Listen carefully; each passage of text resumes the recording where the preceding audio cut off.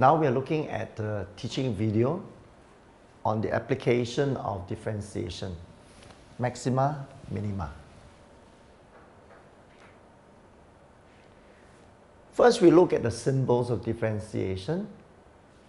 When we have the first derivative of the function y equals fx, then the symbol is just dy over dx.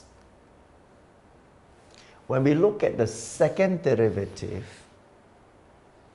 what it really means is after you differentiate a function once, you get dy over dx, then you differentiate that with respect to x. So the symbol will be d squared y over dx squared. The second derivative d squared y over dx squared can be rewritten as d dx of your first derivative which is dy over dx.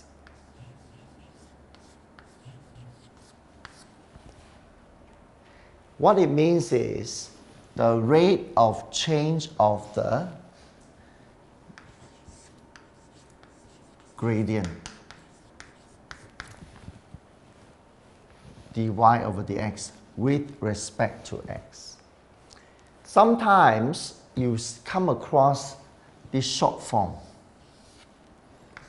w dot r dot t dot x. It says the same thing with respect to x. So once more, the second derivative, this is a simple d squared y over dx squared, really is just the differentiation of the first derivative with respect to x. Now we look at this graph and in specific we look at stationary points. These are stationary points. Stationary points are points where you have the peak or the trough. So for this topic, we call all peaks maxima.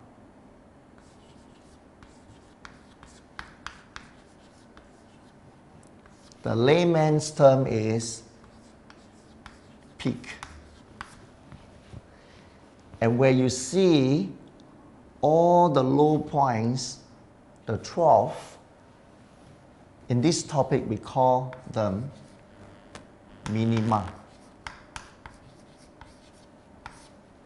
The layman's term, trough. But you can see these two high points, which we call the peaks or the maxima, one of them is higher than the other. In this context, the highest point is this point, and there is a name for it. It's the maximum point.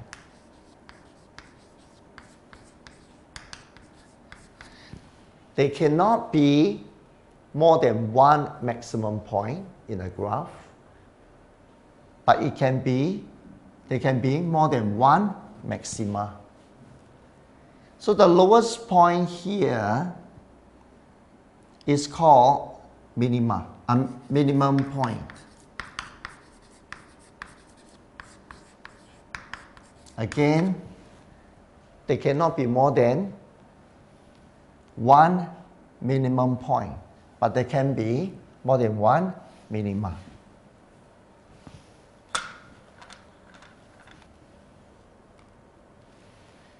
When we look at the characteristic of the stationary point, you can see I have a horizontal line across.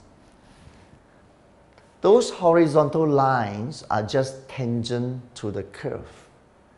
Because the tangent are straight lines and they are horizontal to the x-axis, you can say the gradient of those points are zero. One more time. The horizontal lines represent the tangent. These are tangents to the curve and they're horizontal and therefore the gradient of the tangents are zero.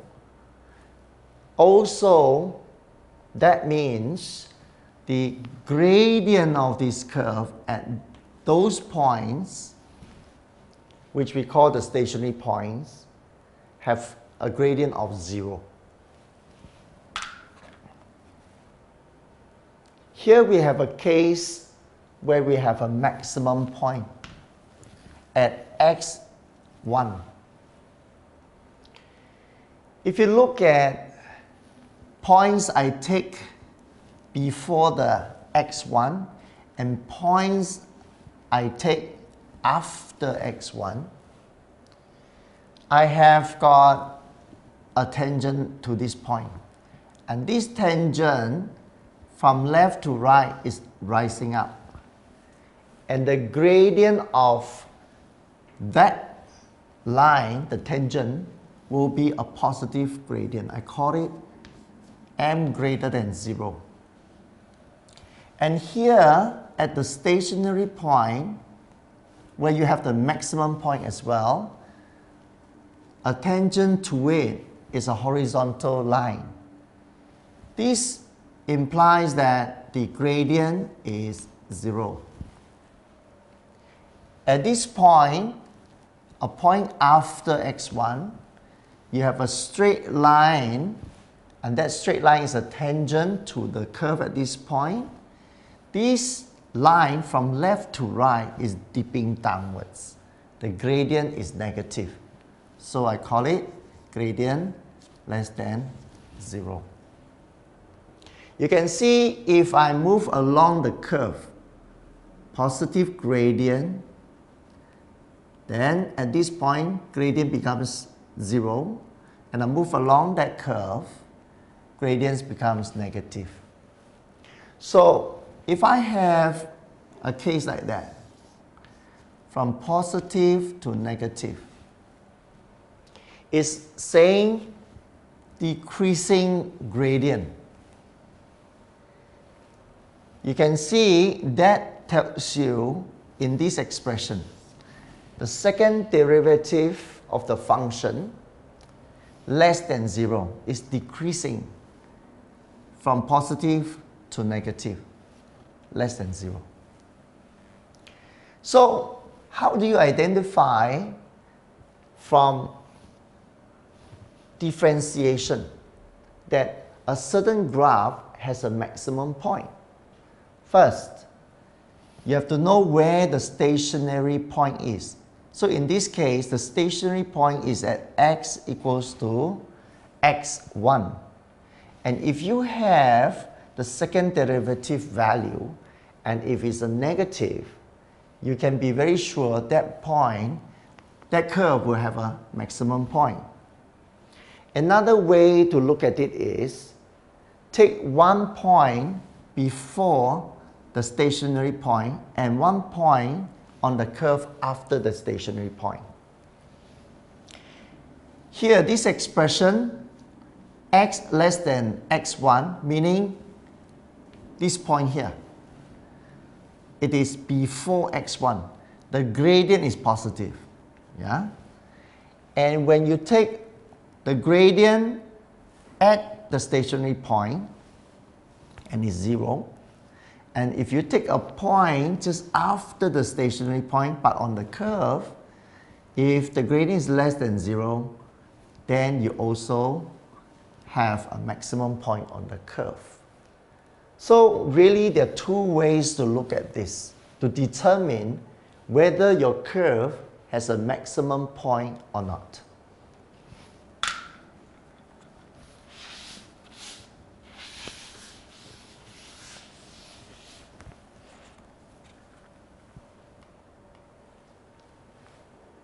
For the case of minimum point,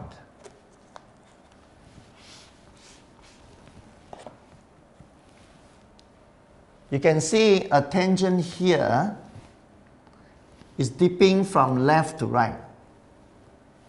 So the gradient is negative.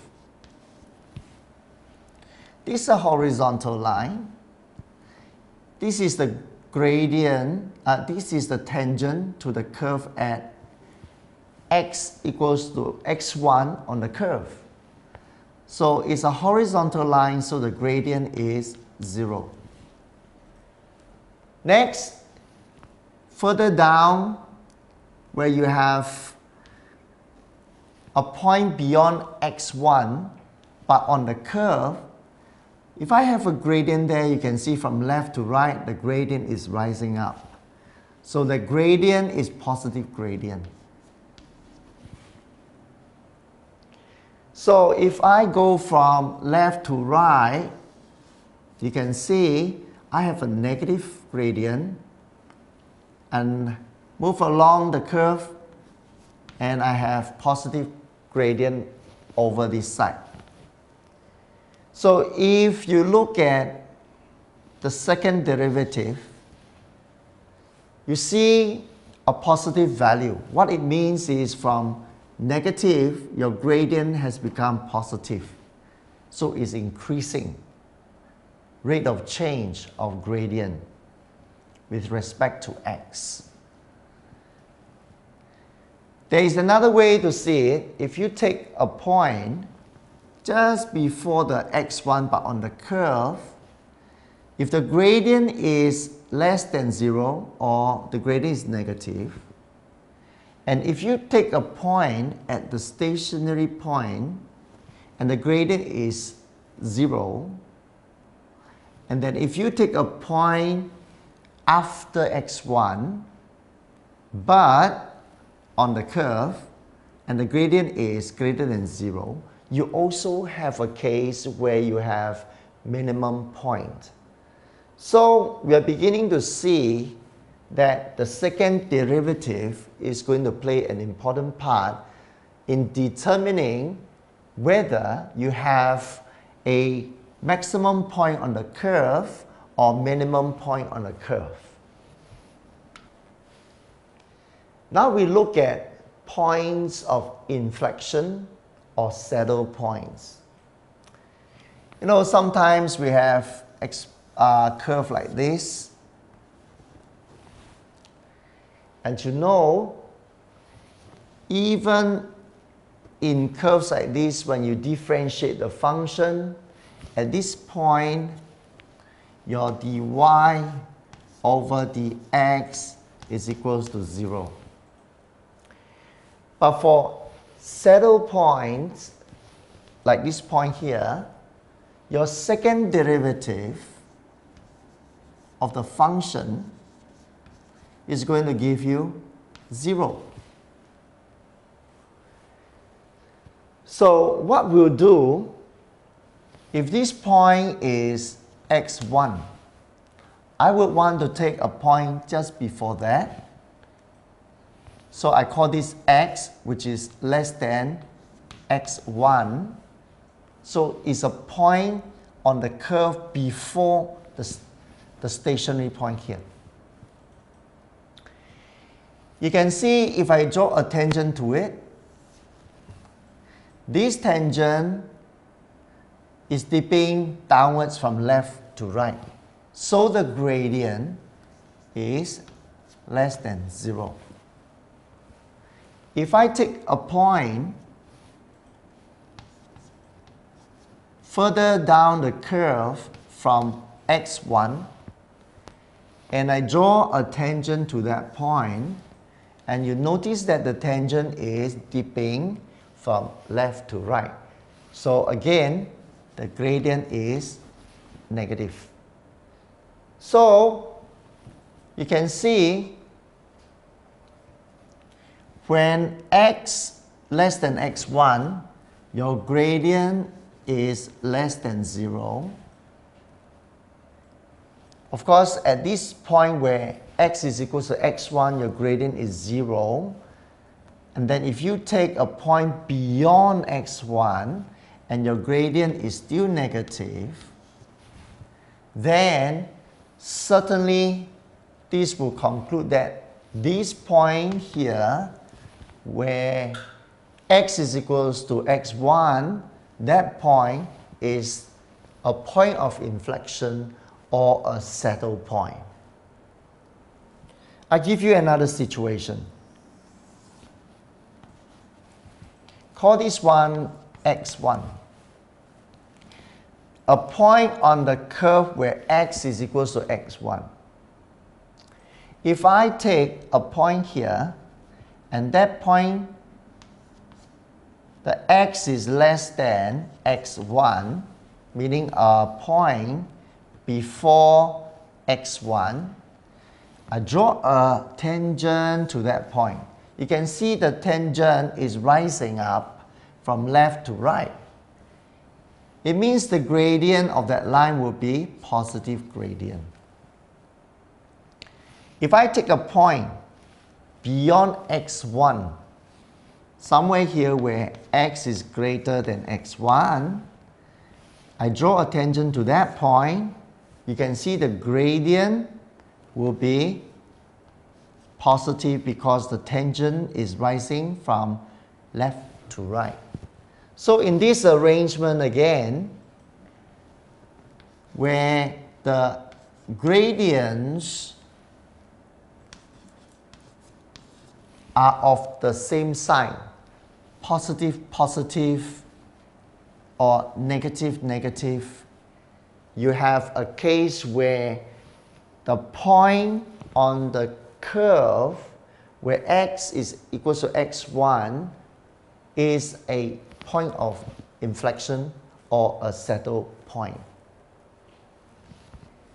Now we are looking at maximum and minimum value of y. So for a function like this, y equals fx.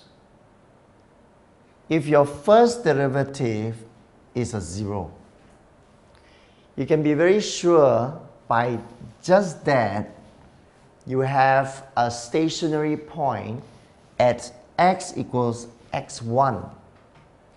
So if I just put in a second derivative here, d squared y over dx squared greater than 0, then I would say the function with the value of a put inside. I should be putting in not a but x1 inside the value of x then that will be your minimum value of y. Same here, if you see the first derivative equals to 0, you can be sure you have a stationary point at x equals to x1. And therefore, you look for the second derivative. If the second derivative is going to give you a negative value, then putting in this value of x into the fx, I will get a maximum value of y. So you can see from all this section of work, the second derivative comes in. And second derivative is going to be the determinant whether your curve has a maximum point or a minimum point.